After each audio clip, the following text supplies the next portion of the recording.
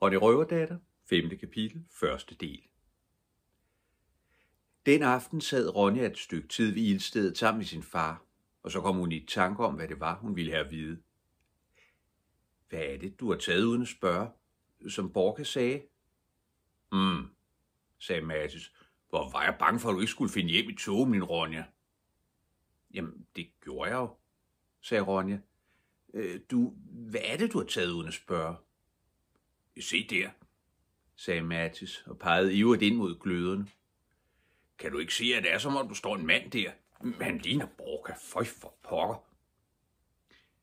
Men Ronja kunne ikke se nogen Borka i gløderne, og hun var for øvrigt også ligeglad. Hvad er det, du har taget uden at spørge? blev hun stedigt ved. Da Mattis ikke svarede, gjorde Skalpert i hans sted. Det er meget. Åh, oh, ja, det er meget. Jeg skulle nok kunne remse. Det lader du være med, sagde Mathis vredt. Det ordner jeg selv. Alle røverne, bortset fra Skalper, var gået op i deres sovekammer, og Lovis var ude for at sørge for høns og geder for, inden natten kom. Derfor var det kun Skalper, der hørte Mathis forklare Ronja, hvad en røver egentlig var. En, der tog ting og sager uden at spørge og uden at få lov. Det plejede Mathis ellers ikke at skamme sig over. Tværtimod. Han var vigtig af det, og pralede med, at han, han var den mægtigste røverhøvding i alle bjerge og skove. Men nu knep det lidt, da han skulle fortælle Ronja det. Vist havde han tænkt sig at lade hende få det at vide efterhånden. Det var jo nødvendigt, men han havde ville vente lidt endnu. Da du er et uskyldigt lille barn, min Ronja, har jeg ikke sagt så meget om det her før. Nej, ikke et ord har du sagt, forsikrede Skallepir, og vi har heller ikke måttet sige noget. Hør nu her, gamle mand, skal du ikke snart i seng? spurgte Mathis. Men det skulle Skalper ikke. Det her var noget, han ville høre. Og Ronja forstod. Endelig begreb hun, hvor alting kom fra. Alt det røverne havde på ryggen af hestene, når de kom ridende hjem om aftenen. Alle de varer i sækker bylder. Alle kostbarhederne i æsker og skrin. Så noget voksede ikke på træerne i skoven. Hendes far tog det uden videre fra andre mennesker. Men bliver de da ikke aldeles rasende, når man tager deres ting fra dem? spurgte Ronja. Skalbjerg fnisede. Så rasende er de sprutter, forsikrede han. Ok, ok, ok, du skulle bare høre. Gamle mand, det ville være bedst, om du endelig gik i seng nu, sagde Mathis. Men det ville Skalbjerg stadig ikke høre tale om. Der er også nogen, der græder, fortalte han Ronja. Men så brølede Mathis. Nu tiger du stille, eller jeg smider dig ud. Så klappede han Ronja på kinden. Du må forstå det her, Ronja. Det er nu engang sådan, det går til. Det har det altid gjort. Det er ikke noget at råbe op om. Nej, vist ikke, sagde Skalpia. Men folk vender sig vist aldrig til det. De bare tuder og græder og banner og sværger, så det er en ren fornøjelse.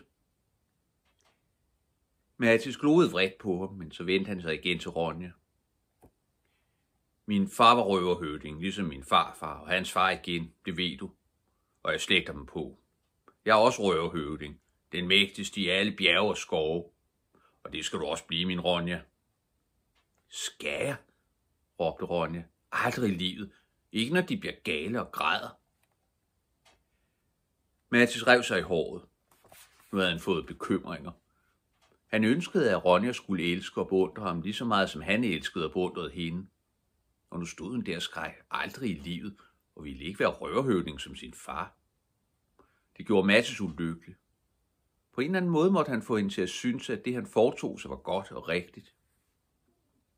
Mm, du forstår min Ronja, jeg tager kun for dem, der er rige, bedyrede han. Så tænkte han så om et øjeblik øh, og tilføjede. Og jeg giver til dem, der er fattige, det gør jeg. Nu fnisede Skalper. Jo, jo, det stemmer, skab. Du gav en helt sæk mel til den her fattige enke med de otte børn. Husker du det?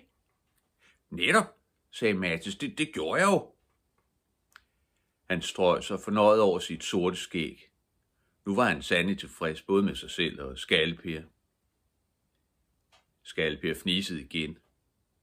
Du er god til at huske, Mathis. Lad mig se, det må være 10 år siden nu. Jo, der er vist. Giver du til de fattige? Om og om igen hver tiende år. Og så brølede Mathis. Hvis du ikke skrubber ind i seng med det samme, ved jeg en, som vil hjælpe dem ned og ligge. Men det blev ikke nødvendigt, for i det samme kom Lovis ind. Skalper forsvandt uden nogens hjælp. Ronja gik i seng, og ilden gik ud, mens Lovis sang ulvesangen. Og Ronja lå og lyttede, og var ligeglad med, om hendes far var røverhøvding eller ej. Han var hendes matches, hvad han så end lavede, og hun elskede ham. Den nat så hun urolig og drømte om de underjordiske og deres lokkesange, men huskede ikke noget af det, da hun vågnede. Birk derimod huskede hun. I de følgende dage tænkte hun af og til på ham og på, hvordan han hun havde det over sin borgerfæstning, og på hvor længe det ville vare før Mathis endelig Johans far og alt deres røverpark ud af sin borg. Mathis lagde nye, storslåede planer om det hver dag, men ingen der rigtig duede. Du er ikke, sagde Skalbjerg, lige meget hvad Mathis så fandt på. Du må være snu som en gammel hundrev, for med magt går det ikke. Det lå ikke til Mathis at være snu som en gammel hundrev, men han gjorde sit bedste. Mens det stod på, blev der ikke rød ret meget. Borgerrøven havde vel også andet at tænke på. Og folk, der skulle igennem røverkløften i de dage, undrede sig over, hvor fredeligt der var. De forstod ikke, hvorfor. Hvor var alle de stigmænd blevet af? Landsknægtene, der så ihærdigt havde været på jagt efter Borga, fandt grotten, hvor han havde haft sin røverhule, men den var øde og tom nu. Der var ingen borger nogen steder, og landsknægtene var glade for endelig at kunne forlade Borgeskoven, hvor der var så mørkt og koldt og regnfuldt her med efteråret. At der også var røver langt bort i Mattisborgen, vidste de nok, men ville ikke så gerne tænke på det. Der fandtes ikke værre sted, og røverhøvdingen, som huserede der, var sværere at fange en ørnen på bjergets top. Ham lod de helst være i fred. Mathis brugte det meste af sin tid på at forsøge at finde ud af, hvad borgerrøverne foretog sig over i den nordlige borg, og hvordan man bedst kunne komme bag på dem. Derfor var han hver dag ude og spejde efter dem. Med et par af sine mænd red han rundt i skoven nord for borgen, men de ubudne gæster lod sig sjældent se, for det meste var der stille og dødt, som fandtes der overhovedet ingen borgerrøvere. Men de havde i hvert fald lavet sig en god lang rebstige, så de uden vanskeligheder kunne komme op og ned ad klippevæggen. En eneste gang så Mathis den firede ned. Han blev helt ud af det og styrtede som en gal hen for at klatre op ad den. Hans røver fulgte efter ham brændende af stridsløst, men så kom der en regn af pile op fra borgerfæstningens skydeskov, og Lille fik ind i låret, så han måtte holde seng i to dage. Det var tydeligt, at den rebstige kun blev firet ned under strengeste bevogtning. Efterårsmørket hvilede nu tungt over Mattisborgen, og røverne havde ikke godt af at sidde så meget stille. De blev restløse og skændtes mere end ellers, så Lovis til sidst måtte sige skarpt. I sprækker snart ørerne på mig, ja, med alt jeres kævl og klammeri. Ryg og rejser skrubber hækkenfelt til, hvis I ikke kan holde fred. Så tav de, og Lovis satte dem til at bestille noget ved at gøre rent i hønsehuset og hos forne og gederne, et arbejde de inderligt afskyede. Men ingen slap for det, undtagen skalper og dem, der for øjeblikket var på jagt, vagt ved ulvesprækken eller op ved helvedeskabet. Også Mathis gjorde sit bedste for at holde røverne beskæftiget. Han tog med på eljagt, med spyd og armbryst drog de ud i efterårsskoven, og Skalper smilede tilfreds, da de kom slæbende hjem med nogle store eltyre, de havde nedlagt.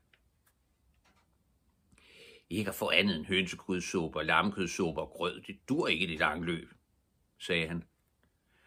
Nu får man da noget at tykke på, og de mørste bidder skal den tandløse have, det ved alle hver. Og Lovis stegte elkød og røg elkød og saltede elkød ned, så det afvekslende med hønsesteg og forlår kunne slå til, til hele vinteren. Ronja holdt til i skoven, som hun plejede. Der var så stille nu, men også efterårsskoven forekom hende god at være i. Mosset var fugtigt og grønt og blødt under hendes bare fødder. Der lugtede herligt af efterår, og træernes grene glinsede af hvede. Det regnede tit. Hun holdt af at sidde og krybe sammen under en tæt gran og høre den sagte drøben udenfor. Samtidig styrtede det ned, så hele skoven susede af regn, men det kunne hun også lide. Der var ikke mange dyr at se. Hendes ræve holdt sig ind i hulen, men samtidig i skumringen så hun elge komme spangulerende, og samtidig ville hesten græsse ind mellem træerne. Hun ville gerne fange en vild hest, og hun havde prøvet mange gange, men det var aldrig lykkedes. De var så sky og sikkert svære at tæmme. Men det var forresten på tide, hun fik en hest. Det havde hun også sagt til Mattis. Ja, når du er stærk nok til at fange en selv, havde han svaret. Og det vil jeg også gøre en gang, tænkte hun. Jeg vil fange en lille pæn en og tage den med hjem til Mattisborgen og tæmme den, som Mattis har gjort med alle sine heste. Ellers var efterårsskoven så underligt tom. Alle de væsener, som plejede at være der, var forsvundet. De var vel krøbet ned i deres huler og gemmesteder. Under tiden, men ikke ret tit, kom der skovhekse svævende ned fra bjergene. Men de var vist blevet roligere og blev hæst op i deres bjerggrotter. De grå dværg holdt sig også væk. Kun en enkelt gang så Ronja et par af dem kigge frem bag en sten. Men de grå dværge var hun ikke bange for mere. Skru hvad hækkenfelt til mere, råbte hun, og de forsvandt straks med små hæse, væsende lyde. Birk viste sig aldrig i en skov, og det var hun jo kun glad for. Eller var hun også det? Samtidig vidste hun ikke selv, hvordan det egentlig forholdt sig med den sag. Så blev det vinter. Sneen faldt, kulden kom, og, og rimfrosten forvandlede Ronjas skov til en isskov. Den smukkeste, man kunne se. Hun stod på ski der, og når hun kom hjem fra mørkningen, havde hun rim i håret og smertende negle, både på hænder og fødder, trods pelsvanter og pelsstøvler. Men hverken kulde eller sne kunne holde hende væk fra skoven. Næste dag var hun der igen. Mathis blev under tiden urolig, når han så hende suse ned ad skrænterne mod ulvesprækken, og han sagde, som så mange gange før til Lovis, Bare det går godt. Bare hun ikke kommer noget til, for så kan jeg ikke holde ud at leve. Hvad jammer du over? sagde Lovis. Det barn kan tage bedre vare på sig selv end nogen røver. Hvor tit skal jeg sige det?